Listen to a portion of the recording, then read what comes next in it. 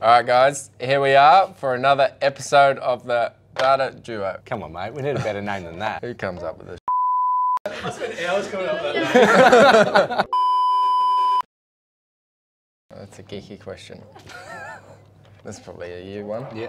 So biggest difference in data from 2000s to now is um, it's probably mainly in the engine. There's so much, so many channels that we can see now related to mapping and things like that.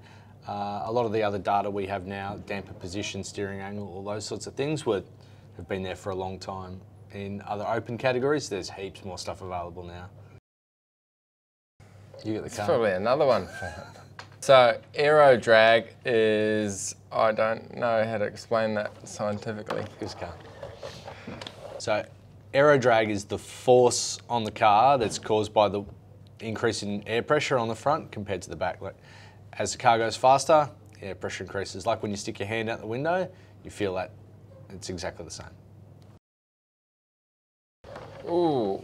So we don't really have too much adjustment in the front. We have a little bit we can plug up in the radiator to get a bit more front downforce, but really no adjustment there. All the adjustment is in the rear.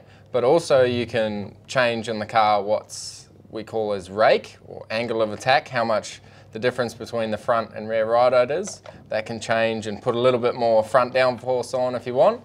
But really most of the tuning's done with the, the angle of the rear wing. So you want to be as fast as you can down the straight. You trim it down a bit, a little, little less angle, but that makes the car have less rear grip. So you're a bit slidier, particularly into the corners. So something we, we're tuning a bit. But this year's car with the downforce, we're mainly on max wing, but on some tracks we'll, we'll go down a little bit. Probably Bathurst is always um, different year to year. You want to be fast over the top, but you also want to be quick down those straights. So that's probably something we'll, we'll tune there.